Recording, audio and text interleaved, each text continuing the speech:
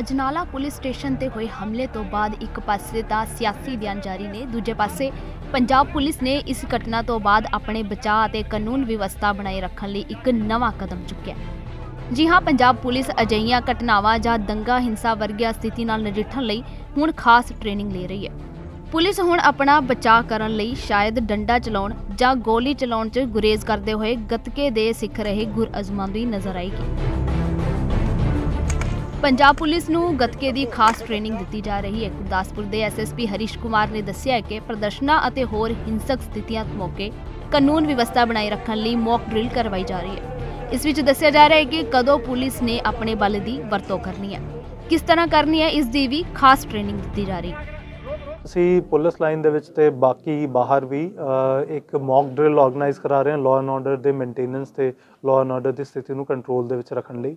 ਇਹਦੇ ਵਿੱਚ ਅਸੀਂ ਕਈ ਸਾਰਾ ਫ- ਜਿੱਦਾਂ ਇੱਕ ਡਮੀ ਐਕਸਰਸਾਈਜ਼ਸ ਹੁੰਦੀ ਹੈ ਮੌਬ ਕ੍ਰੀਏਟ ਕਰਕੇ ਉਹ ਕਿਸ ਤਰ੍ਹਾਂ ਅਲੱਗ-ਅਲੱਗ ਤਰ੍ਹਾਂ ਪੁਲਿਸ ਨੂੰ ਚੈਲੰਜ ਕਰਦੇ ਹਾਂ ਤੇ ਉਸ ਤੋਂ ਬਾਅਦ ਪੁਲਿਸ ਦਾ ਰਿਐਕਸ਼ਨ ਕੀ ਹੋਣਾ ਚਾਹੀਦਾ ਹੈ? ਲਾਫੁਲੀ ਪੁਲਿਸ ਦੇ ਕੋਲ ਕੀ ਕੀ ਕੋਰਸਸ ਹੁੰਦੇ ਆ?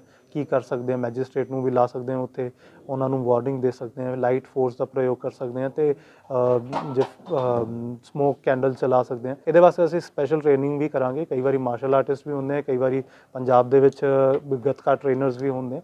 ਤਾਂ ਉਹ ਸਾਰੇ ਜੋ ਹੈ ਅਸੀਂ ਯੂਜ਼ ਕਰਕੇ ਇਨੋਵੇਟਿਵ ਤਰੀਕੇ ਨਾਲ ਇਹਨੂੰ ਟੈਕਲ ਕਰਾਂਗੇ। ਸਰ ਕਹਿ ਸਕਦੇ ਜਿਸ ਤਰ੍ਹਾਂ ਅਜਨਾਲਾ ਘਟਨਾਕ੍ਰਮ ਵਾਪਰਿਆ ਵਾ ਉਸ ਨੂੰ ਲੈ ਕੇ ਇਹ ਦੁਬਾਰਾ ਲੜੀ ਦਿੱਤੀ ਹੈ।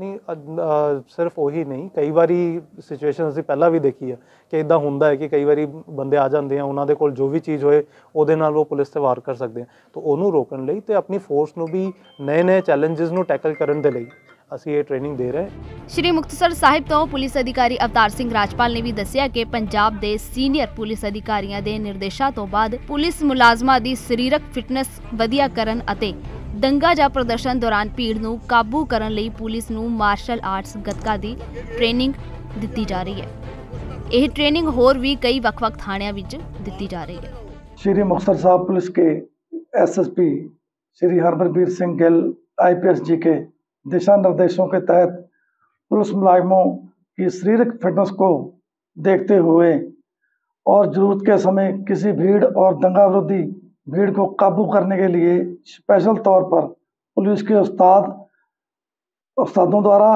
और बाहर से ट्रेनिंग ट्रेनर बुलाकर जैसे कि मार्शल आर्ट्स गतका ट्रेनर के बारे में मॉक ड्रिल की ट्रेनिंग दी जा रही है। और यह ट्रेनिंग पुलिस लाइन के अलावा वक् वक् थानों में भी करवाई जा रही है। ਦੱਸ ਦਈਏ ਕਿ ਵਾਰਿਸ ਪੰਜਾਬ ਦੇ ਮੁਖੀ ਅਮਰਿਤਪਾਲ ਸਿੰਘ ਦੇ ਸਮਰਥਕਾਂ ਨੇ ਲਵਪ੍ਰੀਤ ਤੂਫਾਨ ਦੀ ਰਿਹਾਈ ਨੂੰ ਲੈ ਕੇ ਬੀਤੇ ਕੁਝ ਦਿਨ ਪਹਿਲਾਂ ਅਜਨਾਲਾ ਥਾਣੇ ਦਾ ਘਿਰਾਓ ਕੀਤਾ ਅਤੇ ਤੇਜ਼ਧਾਰ ਹਥਿਆਰਾਂ, ਇੱਟਾਂ ਅਤੇ ਪੱਥਰਾਂ ਦੀ ਵਰਤੋਂ ਕੀਤੀ। 6 ਪੁਲਿਸ ਮੁਲਾਜ਼ਮ ਵੀ ਇਸ ਦੌਰਾਨ ਜ਼ਖਮੀ ਹੋਏ। ਭਵਿੱਖ ਵਿੱਚ ਅਜਿਹੇ ਹਿੰਸਕ ਪ੍ਰਦਰਸ਼ਨਕਾਰੀਆਂ ਦਾ ਮੁਕਾਬਲਾ ਕਰਨ ਲਈ ਪੰਜਾਬ ਪੁਲਿਸ ਹੁਣ ਪੁਰਾਣੇ ਸਮਿਆਂ 'ਚ ਸਿੱਖ ਯੋਧਿਆਂ ਵੱਲੋਂ ਅਭਿਆਸ ਕੀਤੇ ਜਾਂਦੇ ਸਦੀਆਂ ਪੁਰਾਣੇ ਗੱਤਕਾ ਮਾਰਸ਼ਲ ਆਰਟ ਦੀ ਸਿਖਲਾਈ ਲੈ ਰਹੀ ਹੈ। ਇਹ ਕਿੰਨੀ ਕੁ ਸਫਲ ਰਹੇਗੀ ਇਹ ਤੇ ਆਉਣ ਵਾਲਾ ਸਮਾਂ ਹੀ ਦੱਸੇਗਾ। Bureau report ET Bharat.